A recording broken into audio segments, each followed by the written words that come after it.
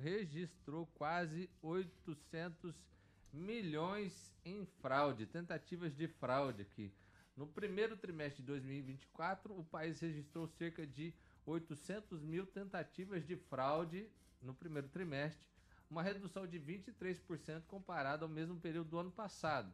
Só que em valores, as tentativas de golpe representam 766 milhões, um pequeno acréscimo a o ano passado. Até na, na notícia engraçada assim, que ele fala o seguinte: o número de tentativas diminuiu, mas o ticket médio aumentou.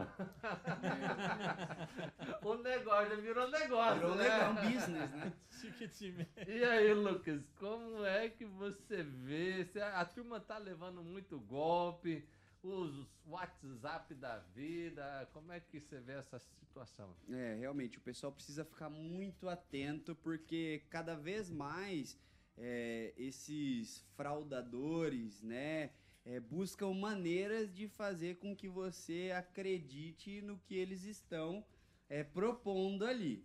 Então vai muito da gente ter um bom senso, entender um pouquinho mais sobre é, é, questões de dinheiro fácil, é, é, porcentagens de rentabilidade de investimentos, entre aspas, né?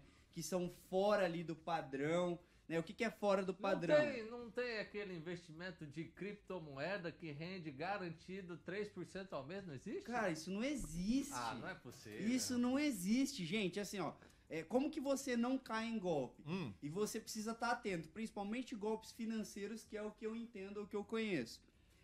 Assim, se a taxa de juros hoje, gente, que é o que regula ali o mercado financeiro no nosso país, está em torno de 10,5% ao ano, que vai girar em torno ali de 0,8% ao mês, tudo que foge mais muito disso já é algo que você precisa desconfiar. Né? Essa semana mesmo veio um dos meus investidores me perguntando assim: Ô, um amigo meu me falou que tem um negócio que paga 5 a 10% ao mês.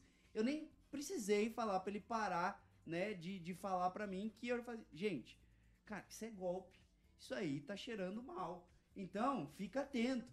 É, você já começa a ter uma noção a partir disso, tá? Então, turma, fica atento. Ô, Lucas, assim, ó, melhor. dentro do que eu vejo, assim, mais ou menos o seguinte: a taxa de juros está 10,5%. Exato. Tem coisa aí que paga 13, 14 no longo prazo, né? Exato. Agora, mais que isso aí já é, É. absurdo, É, né? garantido. Assim, se- a pessoa chega e fala pra você, pô, eu te entrego 3% ao mês garantido, ou é certeza, cara, pula fora. Isso aí é, é coisa errada.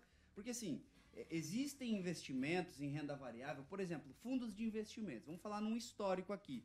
Existem fundos de investimentos que têm um histórico que entrega muito bem. Pô, que chega a entregar ali seus 2, 3% num fundo de ações. Mas isso é de forma esporádica, não é garantido. Daqui Sofre oscilação. trás você consegue ver, É, mas tem- daqui pra frente é outra Então, história. mas sofre oscilação. Tem meses que entrega ali isso, tem meses que entrega negativo. Então, existe uma flutuação. Garantido?